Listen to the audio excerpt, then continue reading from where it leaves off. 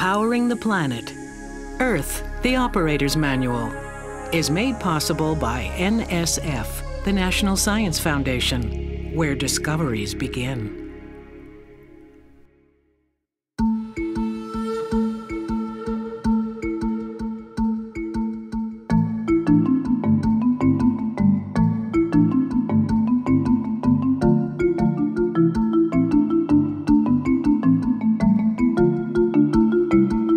For the annotated script, with links to information on climate change and sustainability, online tools to help you save money and energy, educator resources, and much more, visit pbs.org forward slash ETOM, ETOM. Powering the Planet is available on DVD and Blu-ray disc. The companion book is also available. To order, visit shoppbs.org or call us at 1-800-PLAY-PBS.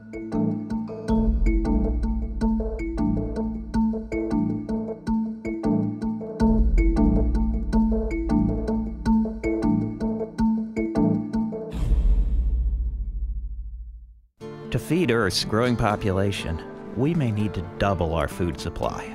And that may not be easy if we're burning a lot of our food for fuel. At NREL, DOE's National Renewable Energy Lab, they're engaged in aggressive research and development to try to extract sugars to make ethanol from non food sources. So, what are the big issues? How much is available? The challenge is economics, and it's projected that in the United States, we could be producing uh, over a billion tons of this material, dry matter, uh, on an annual basis. NREL calculates that would convert into 80 billion gallons of ethanol, potentially replacing one third of all gasoline used in U.S. transportation. And that would cancel out all America's oil imports from the Middle East, Nigeria, and Russia.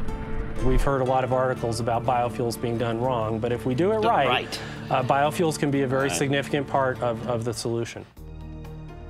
Modern sugarcane plantations like this one use machines for as much as 75% of the harvesting. Unlike the old days, planting is the only activity relying on manual labor.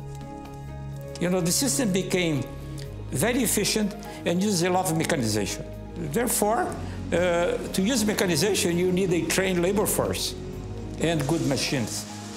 And sugarcane generates jobs. In Brazil, Uh, the sugarcane industry generates 1 million jobs of good quality, better than in other areas of agriculture. Worldwide, there are legitimate concerns about diverting food and water into biofuels and cutting down CO2 absorbing trees.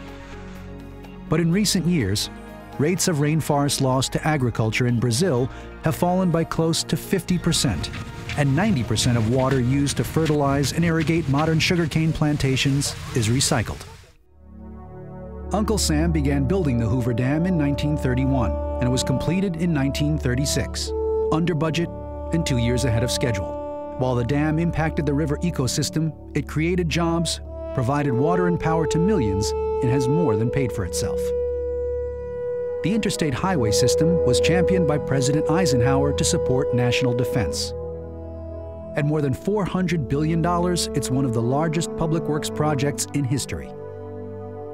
Some say it led to America's over-reliance on cars and underfunding of mass transit. But it helped power decades of economic growth. And when the Defense Department and later NSF funded the development of what became today's Internet, some called it the Information Superhighway. It's hard to think of America without rural electrification, interstates, and the Internet. And it's impossible to deny the critical role of the federal government in building them.